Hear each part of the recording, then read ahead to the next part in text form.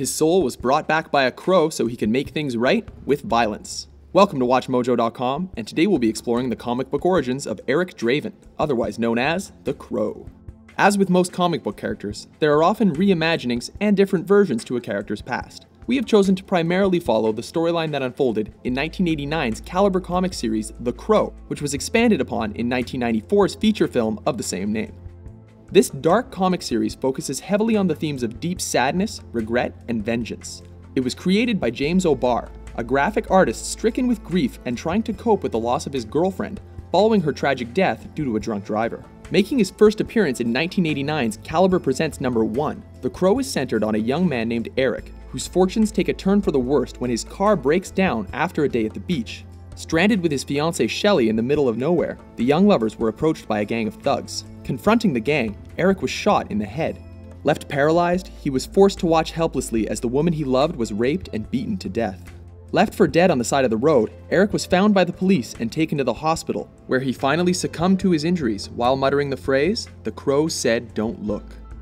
Eric had been a passionate reader of poetry and literature, and had uttered those final words as he recalled a legend he had once read about. People once believed that when someone dies, a crow carries their soul to the land of the dead. But sometimes, something so bad happens that a terrible sadness is carried with it, and the soul can't rest. Then sometimes, just sometimes, the crow can bring that soul back to put the wrong things right. Exactly one year later, Eric was indeed resurrected by the same legendary supernatural forces.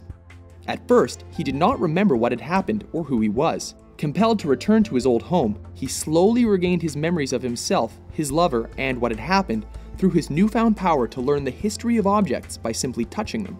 Depressed and trying to cope with his unbearable grief, he began to cut his face and paint it white. He soon remembered his dying wish and became a merciless vigilante ready to do anything to have his revenge.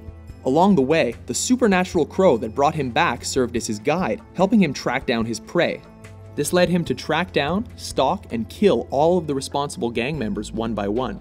As time passed, he realized that he could not die from direct attack and that he was much stronger and faster than humanly possible. He could also see through the eyes of the crow, vanish without a trace, and heal any injury quite rapidly. However, his greatest weakness turned out to be the crow itself. Any injury the crow sustained would hurt Eric, and were it to die, Eric would be left completely vulnerable.